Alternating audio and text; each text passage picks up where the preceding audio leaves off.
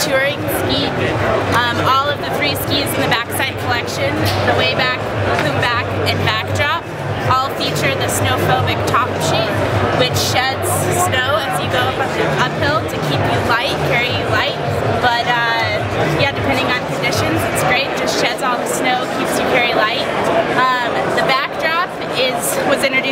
year, hugely successful, carried onto the line for 13-14. Um, it's got a wide waist, great in powder, but lightweight construction.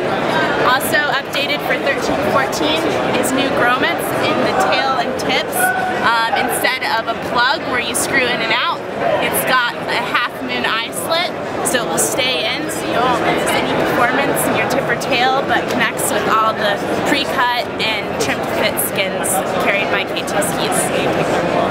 For 13-14, K2 Skis is introducing a whole entire new ski boot line. Here we have the Pinnacle 130, which is the pinnacle piece for their freeride collection. Um, great features included in this, very feature heavy boot. In the back we have the interlock system, which releases for more for a walk mode for more fore and aft motion um, and flex, and then you lock it down, and it performs the same as their all mountain performance boot. Other features on the Pinnacle piece is that it has integrated tech fittings, but are also compatible with Alpine bindings as well as any tech bindings, um, without having to replace the pods or anything. You're ready to go. Other features include the power buckle.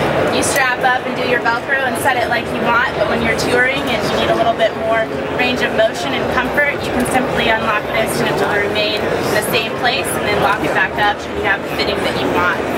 Lastly is it's made with K2 customized Intuition liners, which is a hybrid design with a power cuff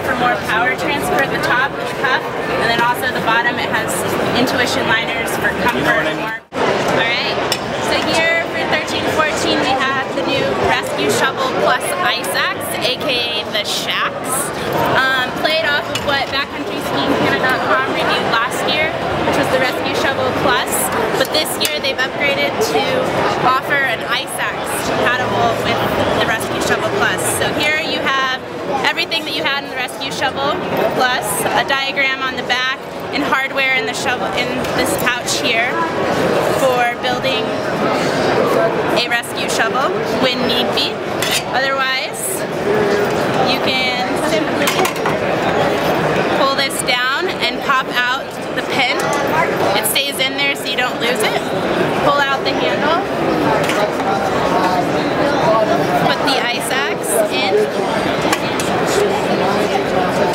Secure it there. Pull this up and then you have an ice axe handle, pop this out, and you have a B-rated ice, ice axe.